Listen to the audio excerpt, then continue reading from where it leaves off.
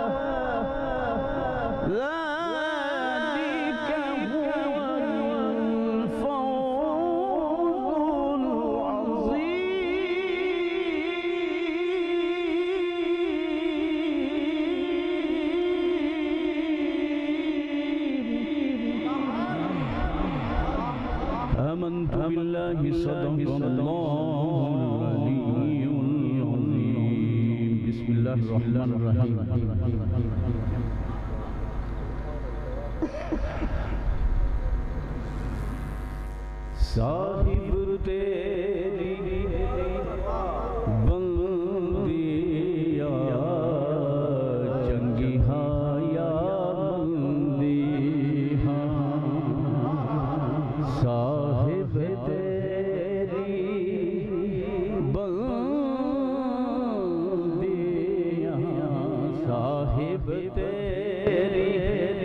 बंदिया चंगिया या मंदिया?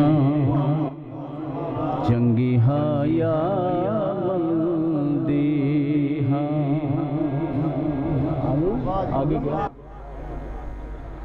कमल लो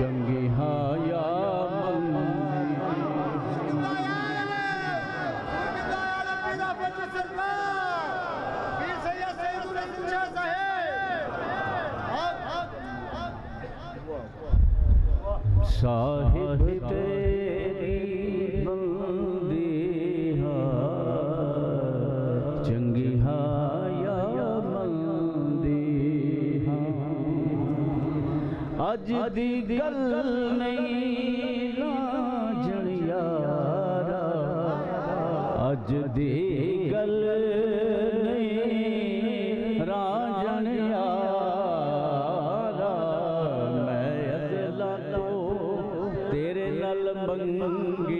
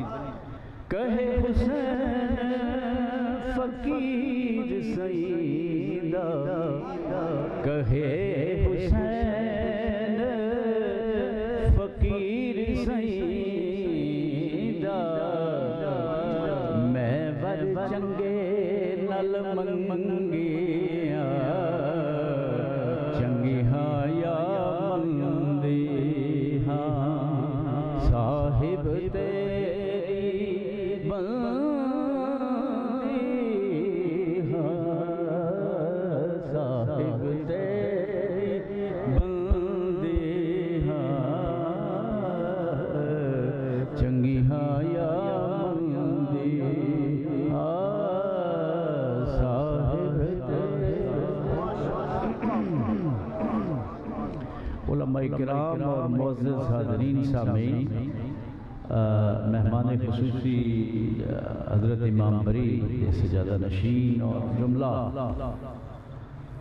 हाजरीन शामीन कराम। मुफ्ती साहब ने आयत पढ़ी थी फलन तजीदा लहू वलियम मुर्शिदा। ये इन्होंने आयत पढ़ी थी। मैं उसमें थोड़ा सा शेयर करता हूँ। अल्लाह कुरान में कहता है, मैं यह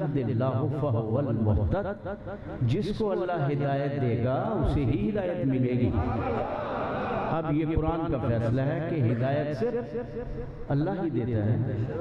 अब यहाँ सवाल ये है कि अल्लाह से हिदायत कैसे लेनी है? अल्लाह तक तो हमारी रसाई नहीं है, पहुँच नहीं है तो फिर अल्लाह से हिदायत कैसे लेनी है? डायरेक्टली है, कोई ले सकता है? कैसे लेनी है? कोई बता सकता है? अल्लाह का तो पता ही नहीं है। लोग पूछते हैं आका सल्लल्लाहु अलैहि वसल्लम से कि जनाब, जिस खुदा का आप फरमा रहे हैं, कहीं कोई निशान, कहीं कोई थोड़ा बहुत कोई। तो आपने फरमाया, ओ भाई, देखते मुझे जाओ, मानते उसे जाओ। अब 1500 साल से खुदा को दिखा है किसी ने? लेकिन किस तरह मान रहे हैं और किसके कहने पे मान रहे हैं? तो हिदायत कैसे मिलेगी फिर अल्लाह ताला कुरान में फरमाते हैं व मई बड़ी गौर तलब बात है। फलन तजिद लहू वलियम मुर्शिदा जिसको अल्लाह गुमराह कर दे, जिसको अल्लाह वो वली और मुर्शिद तक नहीं पहुँच पाएगा इसका मतलब अल्लाह ने हिदायत ही वली और मुर्शद में रख दी है।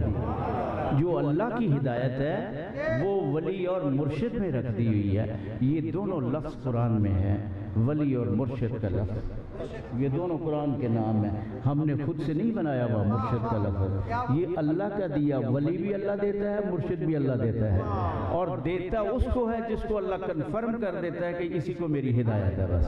तो उसको वली और मुर्शद मिल जाता है। और जिसको वली और मुर्शद अल्लाह नहीं देता देता वही है। तो जब देता नहीं है तो फिर वो अल्लाह कहता है कि वो आ, उसके बगैर वो गुमराह है। वो जो आपकी आयत है, मैं उसको और नब्बे मुकाम पे अल्लाह ताला ने वलियों का ज़िक्र किया है कुरान पाक में। एक जगह पे ही हो जाए तो वही बहुत बड़ा एजाज है। तो नब्बे जगह पे बार बार वली का ज़िक्र बार बार विलायत का ज़िक्र क्यों?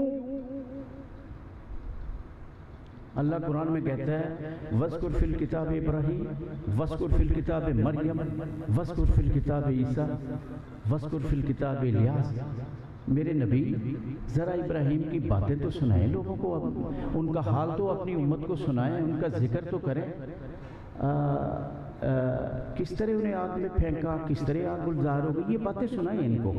किस तरह मूसम हाथ निकालते थे तो वो सूरज की तरह चमकता था। ये बताएँ ईसीम का बताएँ, वो किस तरह मुर्दों को बिठा देते थे? वो किस तरह कोड़ों को दम करते थे, हाथ फेरते थे, मसीह का मतलब हाथ फेरने वाला, वो सही हो जाते थे। और किस तरह मूसम अपने असा को खड़ा करते? तो जब नहाने की, गुसल की ज़रूरत होती, वो पानी का फवारा उससे निकल आता था। हाँ जी, और वो इजतहा भी बनता था। ये बातें लोगों को इसलिए सुनाई जाए ताकि लोगों में वो उनकी मोहब्बत पैदा हो कशिश पैदा हो। लोग उनके पास जाएँ, उनकी बातें सुनाया करें।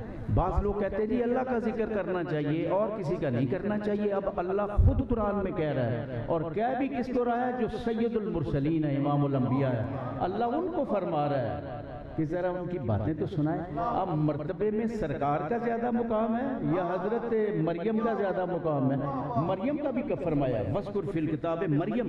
मरियम नबी नहीं थी, वो विलायत के मरतबा पे थी। इसका मतलब है वलियों का ज़िक्र करना, अल्लाह के प्यारों का ज़िक्र करना, खुदा ताला का हुक्म भी है और सरवर दो जहाँ वसल्लम की सुन्नत भी है।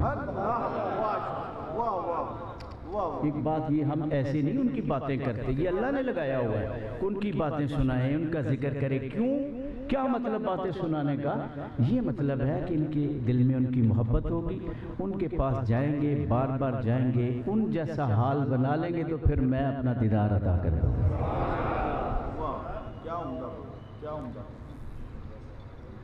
तो ये मैं, चूँकि इन्होंने जो आयत पढ़ी थी, उसके साथ मैंने लगा के किया।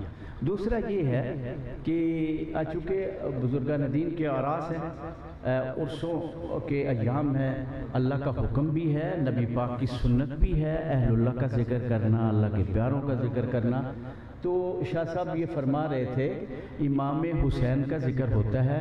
इमाम हसन का ज़िक्र क्यों नहीं होता? हुसैन का ज़िक्र ही हसन का बीच में आ जाता है। मैं एक ही बात सुनाऊँगा, और ये घर वो घर है ये घर, वो घर है। अब देखें, नबी पाक सल्लल्लाहु अलैहि वसल्लम नमाज़ अदा फरमा रहे हैं। नमाज़ अल्लाह की है ना? अल्लाह कहता है, मेरी तरफ़ ध्यान रखना, इधर उधर नहीं करना। अगर करोगे तो काम खराब हो जाएगा। लेकिन क्या बात है कि नमाज़ में सरकार अल्लाह की नमाज़ पढ़ते थे, लेकिन संभालते नमाज़ में दोनों शहजादों हो गए नमाज़ पढ़ते हुए उठा लेते थे, नमाज़ पढ़ते हुए गोद में बिठा लेते थे। अगर सरकार रुकू में होते, वो छलांग लगा के ऊपर बैठ जाते। एक सिहाबी ने पकड़ना चाहा तो सरकार रुकू में गए हुए थे फरमाया, मत रोको, आने दो हुसैन को मेरे ऊपर, आने दो।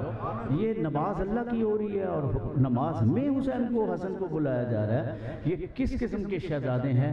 हज़रत जाबर कहते हैं, मैंने देखा कि सरकार चारों जानों पे चल रहे हैं और दोनों शहजादे ऊपर बैठे हुए हैं। तो नीचे से हुजूर फरमाते हैं, मेरे बच्चों का ऊँट कितना प्यारा है। मेरे जो इसके सवार हैं, वो कितने प्यारे हैं। तो ऊपर से कहना है बड़े अच्छे हैं, हमारा ऊँट बड़ा प्यारा है। हम, ये सवार भी बड़े अच्छे हैं। तो सरकार उनसे ये सुनते थे, खुश होते थे। उनका क्या मुकाम है? वो भी सिहाबा थे, बाकी भी सिहाबा हैं। लोग कहते, क्या फ़र्क है? तुम्हें पता ही नहीं है, एक घर वाले हैं, एक दर वाले हैं। समझ आई ना? इसमें तो कोई है ही नहीं है। और फिर सिहाबा वो हैं जो सरकार के शाना बशाना चलते थे, जंग उहद में चलते, जंग खंदक में चलते, इस तरह बहुत सारी जगहों पे शाना बशाना चलते। और हसन और हुसैन वो है जो सरकार के शाना पर सवार होकर चलते थे। वहाँ तक पहुँच ही कोई नहीं सकता। वहाँ तक कौन पहुँच सकता है? उनकी शान का क्या बात है? ये वो घर है कि जब शिमर काबू आ गया कि मौत के अलावा चारा नहीं था, उसको बता दिया कि तुम काबू आ गए उसने कहा, मैं कैसे बच सकता हूँ? उन्होंने कहा वही घर है जो कमली वाले का घर है। उन्होंने कहा, मैंने तो उनको जिबा किया हुआ है, अब कैसे? कहना, देखो तो सही, फ़र्क क्या है? दुनिया का और कमली वाले के घर का फ़र्क तुम्हें पता लग जाएगा क्या है? उसने कहा, अब मर तो जाना है। चलो देख लेते हैं ट्राई करते हैं। तो जब वो गया तो हज़रत सैदना जैनलाबदी सैदुलसाजदी जिनका नाम अली था, जब पैदा हुए तो जनाब हुसैन ने हज़रत अली की गोद में रखा, बाबा, ये अली है, दादा के नाम पे नाम रखा तो हज़रत अली उठ चूम के कहते हैं, वाह अली, तू भी अली और मैं भी अली। क्या बात है अली? है? क्या शान अली है? तू भी अली है, मैं भी अली हूँ। तो ये वो सैदना जैनलाबदीन थे जो एक ही बचे थे इस खानबादा रसालत से। सारा ख़ानदान आपको पता जिबा करके रख दिया था। और कलमा पढ़ने वालों ने उनके साथ ये सलूक किया था। बात तो ये है समझने वाली। तो बहरल ये आजमाइश थी, जो भी था, आजमाइश मोहब्बत थी। अगर ये ना होती तो कभी ये ना फरमाते कि भाई तुम अपने चले जाओ। ये हमारी आजमाइश मोहब्बत है। कोई बात नहीं, तुम चले जाओ। मैं नाना से भी कह दूँगा, मैंने भेजा था जाओ, कोई फ़िक्र वाली बात नहीं। लेकिन वो भी गुलाम थे, उन्होंने कहा, जनाब, यही मरना है, यही जीना है, इन कदमों पे जीना है। मानने वाले भी गुलाम कैसे बहरहाल तो वो शिमर ने सोचा कि अब इस घर में चला गया। हज़रत आबिदीन जब मुलाकात हुई तो आपने पहचान लिया। आपने बड़ी इज़्ज़त तकरीम से उसको बिठाया, दुश्मन को, जिसने बाबा को ज़िबा किया था, है बच्चे के साथ। इज़्ज़त के साथ बिठाया। माँ के साथ गले लग के रोए तो माँ ने कहा कि, बच्चा, वो आया हाँ तो माँ भी रोई। तो क्या फरमाती है? अच्छा जाओ फिर अपने बाबा की सुन्नत पूरी करो उसको शरबत पिलाओ। शरबत पिलाया खाना भी दिया वो बड़ा खुश उसकी जान जा रही थी। उसको छोड़ना नहीं था। अब कहता है जी मुझे घोड़े की एक ज़रूरत है। आपने कहा हाँ मेरे पास एक घोड़ा है। ये था हुजूर के ख़ानदान का ये हुजूर का असर था अपनी औलाद पे। खुदा की कसम दुश्मन को घोड़ा दे दिया खुशी के साथ। ये खिदमत हो रही है। घोड़ा दे दिया जब जाने लगा तो कहता मुझे पहचाना है। तो जनाब सैदना जैनलाबदीन फरमाने लगे हाँ मैंने तुझे मिलते ही पहचान लिया था। ये तेरे बड़ों का अंदाज था ना जो तूने हमारे साथ किया है। ये मेरे बड़ों का अंदाज था जो मैंने तेरे साथ किया है? जो सरकार का ख़ानदान है, जो नबी पाक का घर है, उस घर के साथ कोई घर नहीं मिल सकता।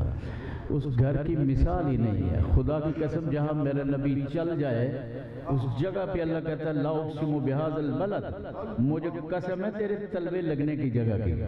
शहर मक्का की कसम है, इसलिए कि तेरे तलवे वहाँ लगते हैं, मैं कसम खाता हूँ, इसलिए नहीं फरमाया कि वहाँ मेरा घर है, हजर असवद है, या मुकाम इब्राहिम नहीं, वहाँ तेरे तलवे लगे हैं ना, मैं कसम खाता हूँ। अच्छा तो दूसरा अब ये पूछ रहे थे जनाब इमाम हसन और हुसैन का ज़िक्र। मैं आपको एक बात ही बताऊँ। एक नात खान था, जिसने आके नबी पाक की नात सुनाई और अहल बैत की मनकबत बयान की। हज़रत इमाम हुसैन दस हज़ार दिरम से कम नहीं देते थे। बड़े सखी बादशाह थे। दस हज़ार देते थे। जो अपने बाबा की नात सुनाते थे उनको, दस हज़ार देते थे। तो वो जनाब हसन के पास गया। जब उनको सुनाई तो आपने सौ दिनार दिया अब आके कहता है जनाब हुसैन को कि जनाब, मैं जनाब हज़रत इमाम हसन के पास हाज़िर हुआ था, जनाब के बरदर अकबर।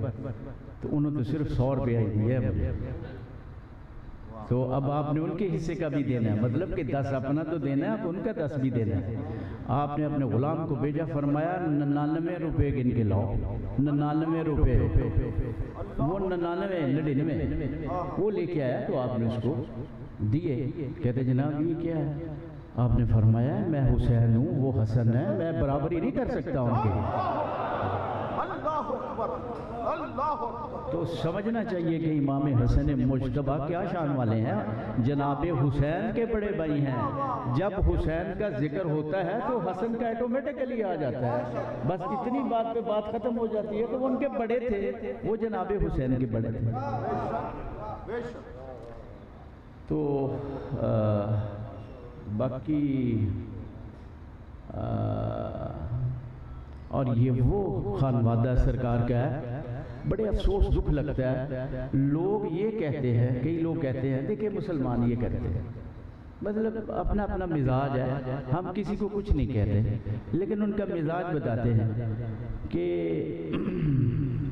दस मुहर्रम को ये सरकार का पूरा खानवादा जिस जुल्म से निकला है बच बचा के, या जो उन पे जुल्म हुआ है कई लोग कहते हैं जी वो दस मुहर्रम को शादी जायज़ है, शरीयत इजाज़त देती है। भाई, हम कब कहते हैं कि शरीयत ने मना किया है कि शादी ना करो? शरीयत ने मना नहीं किया। लेकिन हकायक को तो भी देखो। हकायक को देखो। कि हदीस पाक है, बुखारी की जनाब रसूल पाक वसल्लम सहाबा के साथ तबूक की तरफ़ जा रहे थे तो जहाँ ऊँटनी की टांगे काटी थी सलाम की ऊँटनी की, जिसको कुरान में अल्लाह कहता है हाजी ही नाकतुल्ला सात हज़ार साल हो चुके हैं इस बात को। तो नबी पाक वसल्लम जब सहाबा के साथ गुजरे तो सहाबा से फरमाया, सहाबा, दौड़ के गुजरना इस मुकाम से, रोते हुए गुजरना है और चादरें ऊपर ले लो। सबने चादरें लेके रोते हुए दौड़ना शुरू कर दिया। एक सियाबी अर्ज़ करते हैं यारसुल्ला अगर रोना ना आए फरमाया, मुँह ही बना ला अपना। अपना मुँह ही बना लो रोने वाला। गुजरो, दौड़ के गुजरो। सरकार ने भी सफ़ेद चादर ली। दौड़ते हुए, रोते हुए जा रहे थे। क्या है? ऊँटनी का गम मना रहे थे। ऊँटनी की याद का जिस जो अल्लाह की ऊँटनी थी, जिसकी टांगे काटी थी। सात हज़ार साल पहले की बात है। मुझे ये बताओ, कलमा पढ़ने वालों, कि तुम्हारे नबी उस ऊँटनी का गम मनाए? अभी वो जो रोने का मसला था, कोई अजाब उस वक्त हो रहा था? ये तो सात हज़ार साल पहले की बात है। आप फरमा रहे हैं कि रोते हुए गुजर जाओ, रोते हुए ऊँटनी के गम में। तो शहजादा हुसैन तो वो था जो बाग मुस्तफ़ा का एक महकता फूल था। जब नाम रखने की बारी आई, नाम इनके और रखे थे। हमजा और उमर रखे थे। तो सरकार ने फरमाया अली, ये अर्शी लोग हैं, इनके नाम भी अर्शी हैं। वो हसन और हुसैन, इनका नाम रखा जाए। तो ये तो वो लोग का मुकाबला हुआ तो दो दो कहने लगी, मेरे में कानून होगा। मेरे में फला फला बादशाह होगा। तेरे में क्या है? मेरे में फला फला फिरौन होगा, नमरूद होगा। मेरे में तो वो बड़े बड़े बादशाह हैं।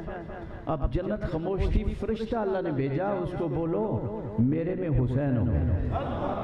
और दो चुप और जनाब हुसैन ने क्या सबक दिया है?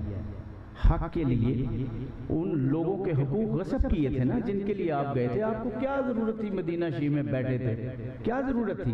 हक के लिए गए। जिस तरह आजकल कश्मीर के लोग हैं, बेचारे जो मुसलमानों को याद कर रहे हैं, और मुसलमान का ताल्लुक कैसा सरकार ने फरमाया, हम तो आराम से खा पी रहे हैं। शाम को नारा एक लगा देते हैं, कश्मीर बनेगा पाकिस्तान। बस यही है ना हमारा हाल।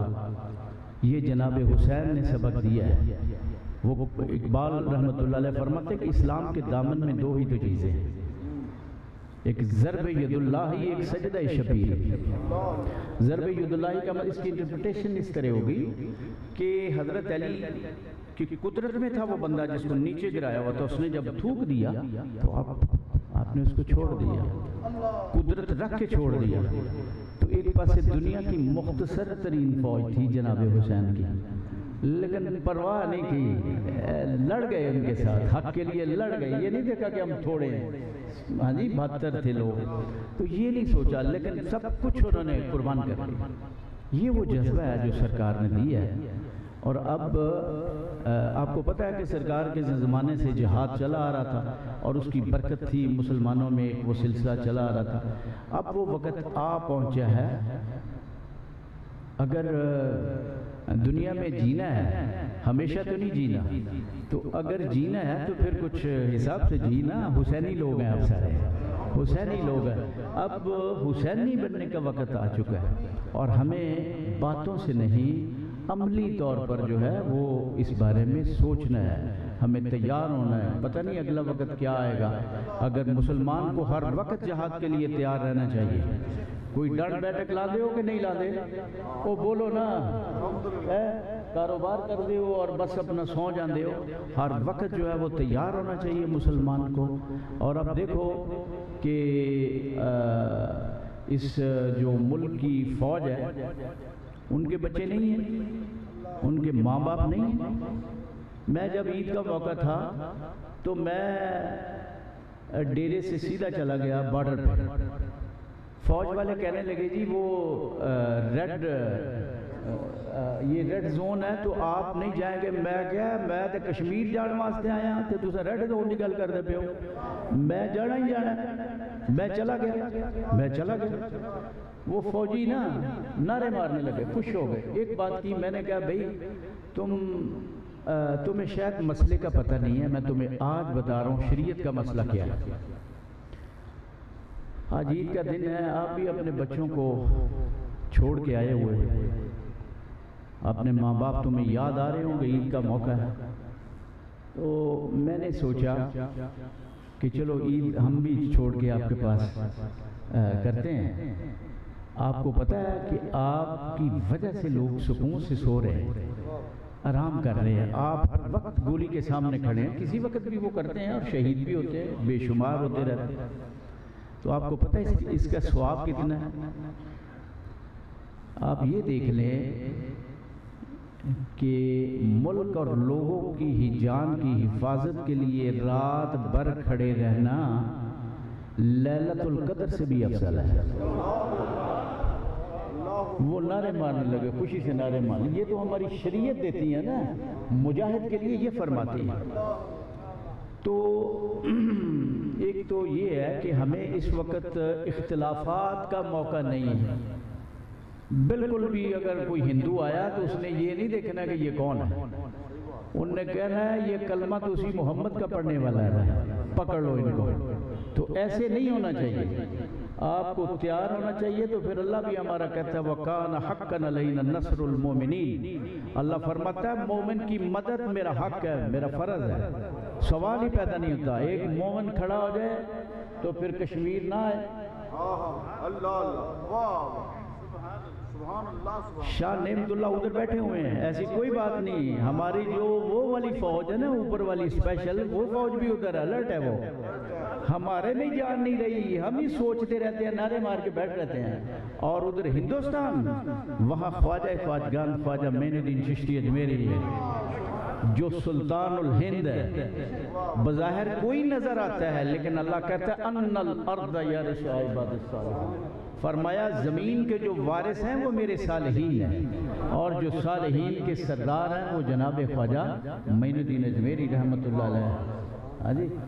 आपको पता है कि इंडिया का वज़ीर अजम जब हलफ उठाता है तो उनके दरबार पे हाजिरी के लिए जाता है। क्या वजह है? हिंदू वहाँ जाते हैं, सिख वहाँ जाते हैं, मुसलमानों ने तो जाना ही है। ये क्यों जाते हैं? तो जब गौरी ने शिकस्त हुई तो आपके पास हाजिर हुआ, आपने फरमाया, जाओ, दुआ कर दिया और थापड़ा लगा दिया। जाओ। वो बस पकड़ लिया, फिर उसने पृथ्वी को मार दिया।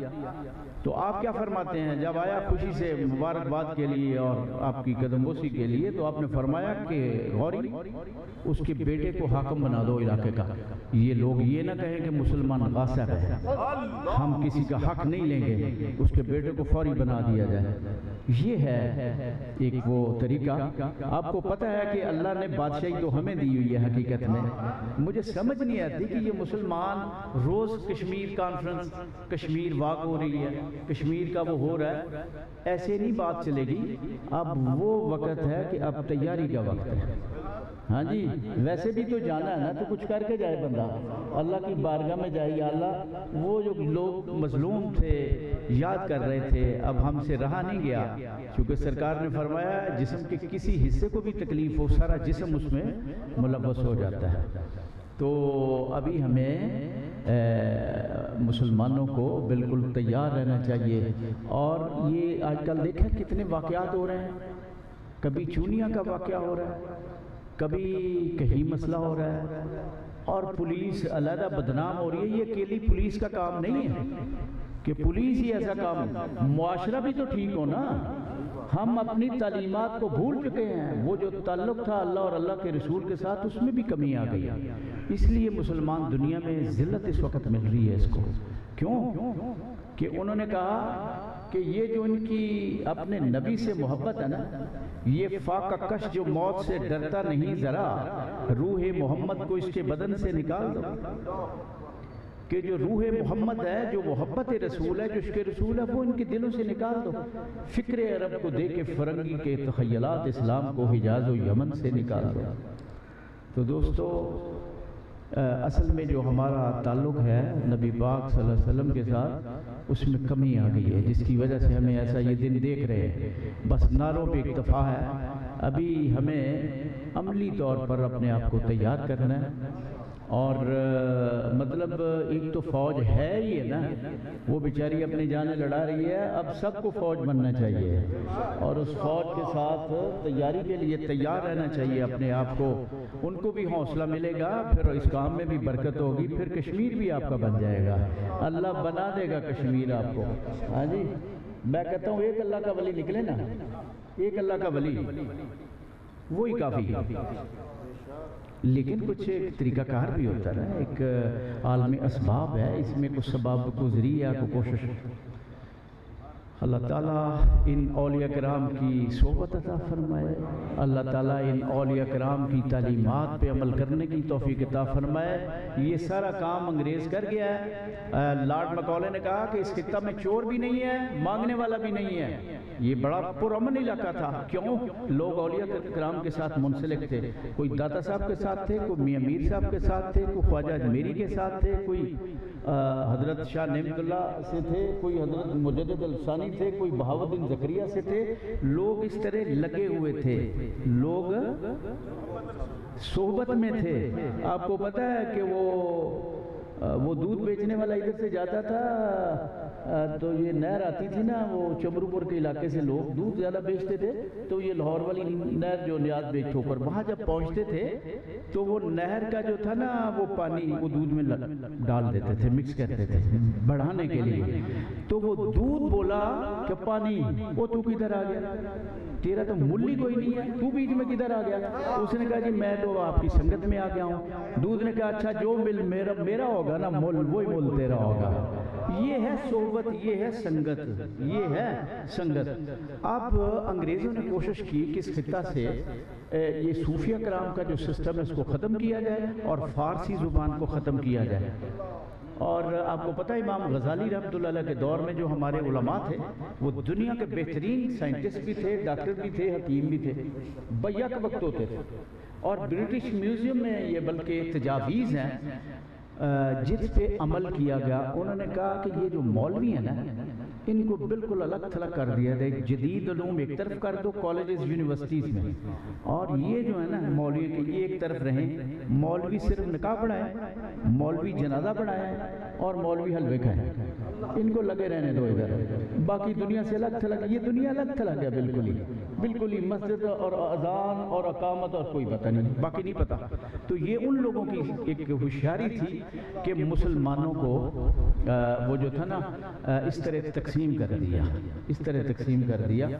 तो अभी हमें इस बारे में भी सोचना है कि अगर दुनिया का कोई आलम दीन मुफ्ती होता है तो पता चले कि दुनिया का बेहतरीन वो साइंटिस्ट भी है और दुनिया का बेहतरीन डॉक्टर भी है। और ये मैंने आज से पंद्रह साल पहले बात की है।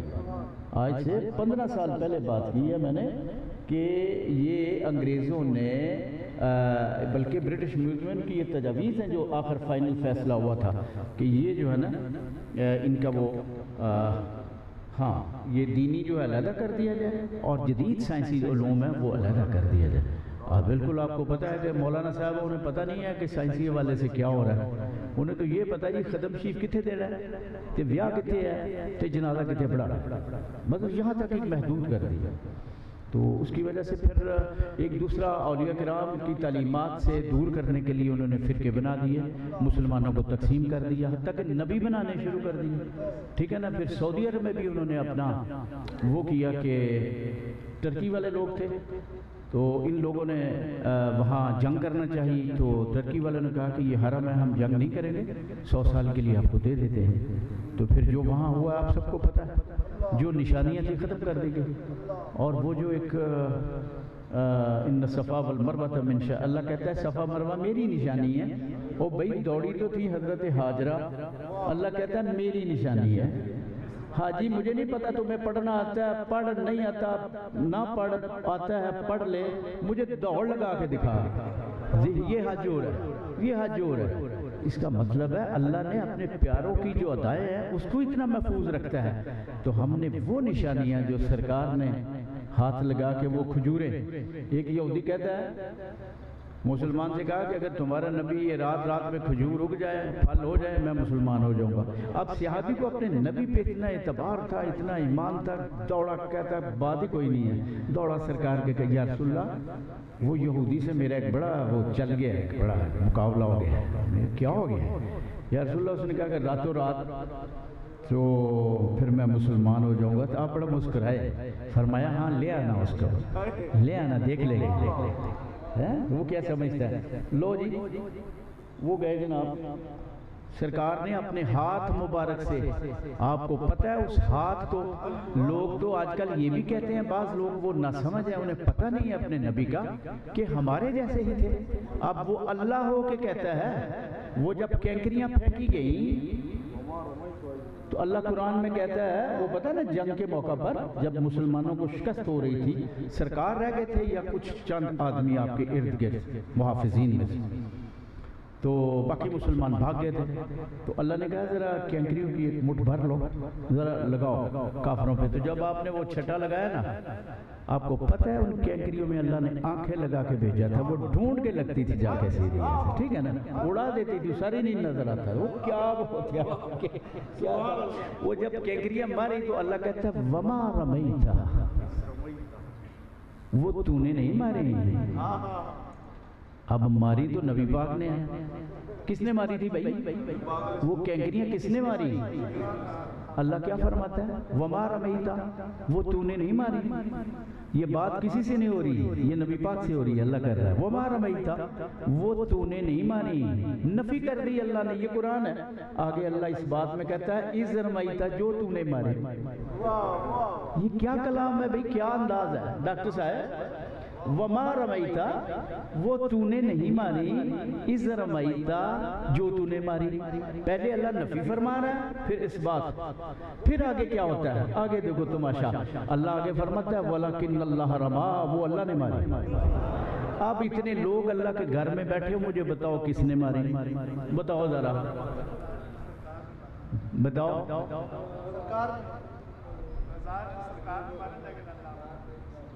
यार आप यार ये बड़े लोग भी नहीं समझ रहे बात को।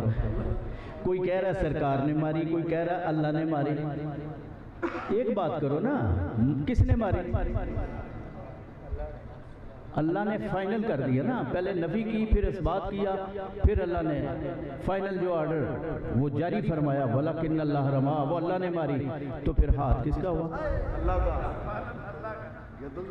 हाथ किसका हुआ? ओ अल्लाह के हथ नु हथ आखे।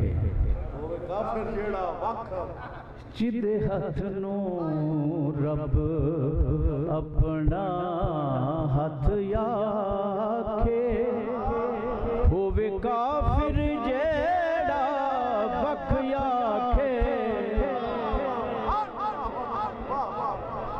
अल्लाह ते ओदे हथ नु अपना हथ फरमा रहा ते अज कैसा वक्त है? कि जिन्हों मुँह धोण का नहीं पता ते वो आखदा कि वो हमारे जैसे ये तो मतलब वो उस बेचारे को वो पता नहीं है। नबी की शान का नहीं पता सल्लल्लाहु अलैहि वसल्लम। तो दोस्तों मैं बात कर रहा था कि वो यहूदी आ गया तो सरकार चल पड़े। आपने अपने वो यदुल्ला हाथ जिस, हाथ को अल्लाह कहता है ये मेरा है। उस हाथ से वो लगा दी। जब गुठलियाँ लगा दी गुठलियाँ लगा दी। तो वो आधी रात को आ गया। उसने सोचा कहीं उगी ना जाए कहीं मुझे मुसलमान ही ना होना पड़े। वो आधी रात को गया तो गुठलियाँ निकाल के ले गया।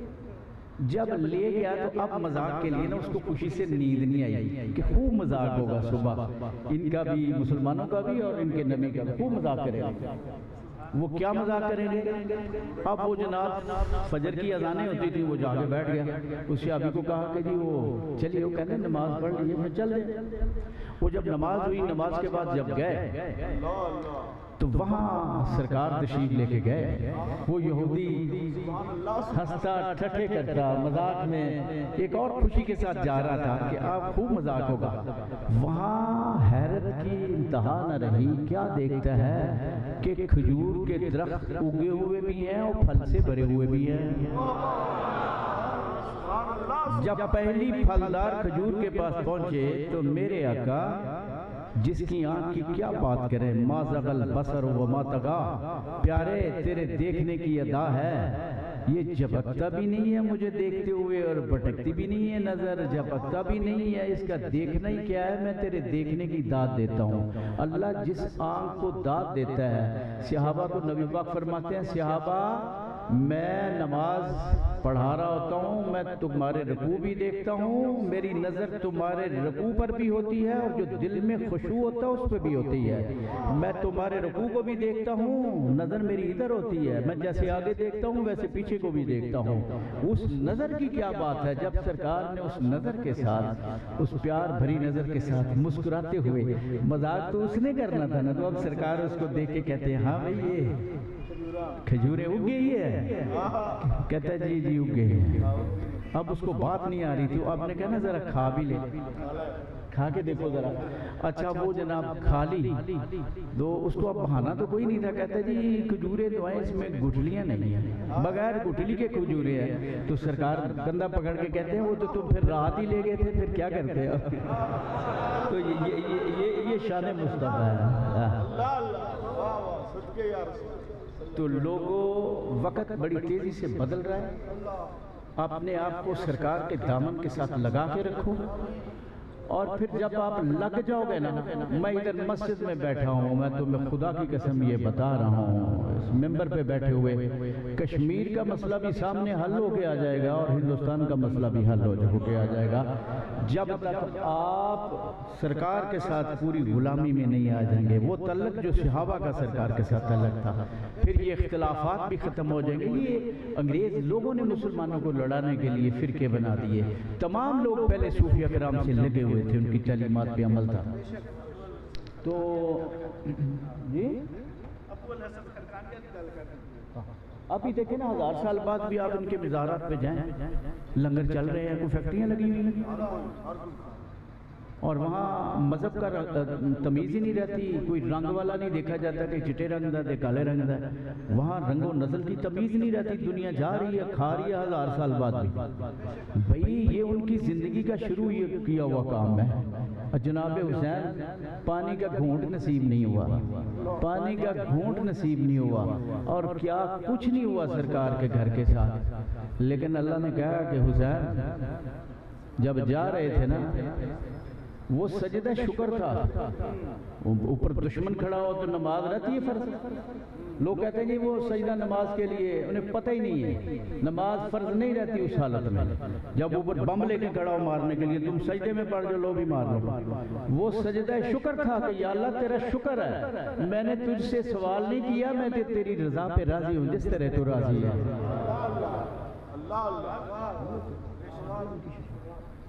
तो लोगों वो अपने आप को मज़बूत करो, इन हस्तियों के साथ, इन औलिया कराम के साथ। अल्लाह ताला ने ये हमें अपने तोहफे दिए हुए हैं। अम्बिया कराम की सूरत में, औलिया कराम की सूरत में। और अंग्रेज़ ने जो कोशिश की है, वो इसीलिए की है, मुसलमानों को लड़ा दिया। अब आपस में लगे हुए हैं, बस कोई कुछ कह रहा है, हर बंदा हदीसें सुना रहा है, कुरान सुना रहा है, और लोग परेशान होते हैं। बस एक बात है, अगर कुत्ता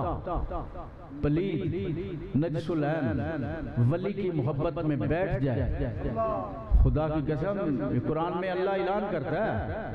अल्लाह उसको अपना महबूब बना लेता उस कुत्ते को। नहीं समझ आई? इससे बढ़कर और क्या सबूत हो सकता है तो जो औलिया राम का इनकार करेगा फिर वो अल्लाह ताला की मर्ज़ी के खिलाफ होगा। अल्लाह ताला अपने सालहीन की मोहब्बत अता फरमाए और औलिया कराम की सब